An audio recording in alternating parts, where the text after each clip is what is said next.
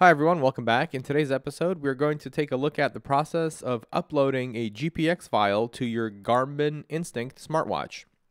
So I like to get my GPX files from AllTrails. They're pretty reliable, they have a good variety and a pretty large database. So basically you find the trail or the map that you like, open it up and click on download GPX file. Uh, it, can, it will go to your downloads folder, from there, we have to open a, new tab and go over to Gmail, compose a new message, and essentially what we're going to do is just attach it and mail it to ourselves so that this way we can actually open up the email on our phones.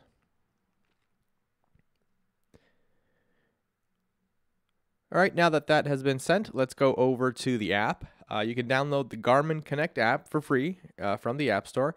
I already had it downloaded, so essentially right now it's just uh, updating. Once it's updated, uh, we're going to go ahead and head over to the app, open it up, make sure it looks good, and then we're going to go to email and open the message that we just sent to ourselves. You want to make sure that your phone is paired with the watch. All right, right there, I've got a good connection sign. Syncing is working successfully. Once you know that your watch and phone are paired, let's get out of this app and head over to uh, our mail. As you can see, I've got my message right there. Let's download the attachment and then click on the share button on the top right. We're going to choose the Garmin Connect app from here. Tap on the trail running option.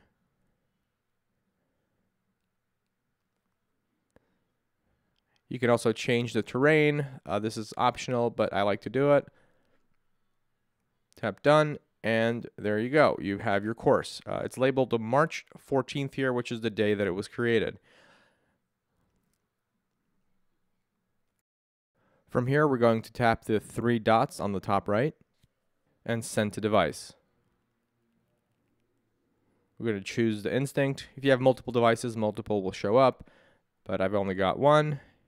All right, and now that the option has been set, we actually have to sync the watch to make sure that it downloads. Otherwise, it's going to be there, but not on the watch yet, because you actually have to make that Bluetooth transmission happen. And there we go. The sync is in progress, and we're all set. So uh, now that this is good, uh, what I'm going to do is actually show you guys what it looks like on the day of the hike and how to get the course started on your watch. So you'll get the hike option by tapping the GPS button. And then from the GPS button, you're going to go down the options to open up courses. Choose the course, which is the March 14th one that I created. Yours will be obviously different.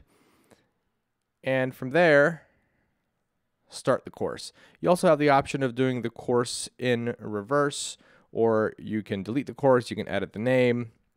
Basically, you, you get a few options here, but essentially, once you tap do course, you'll get a little map and you'll be able to do your uh, hike navigation just by taking a glance at your wrist.